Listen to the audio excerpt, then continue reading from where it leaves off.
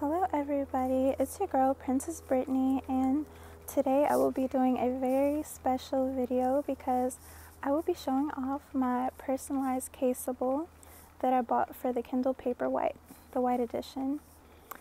And so, this is my caseable, and it has my face on it and my full name, Brittany Aurelia Shepherd. And on the back of it is a picture of my baby, my princess. and I think it's so adorable.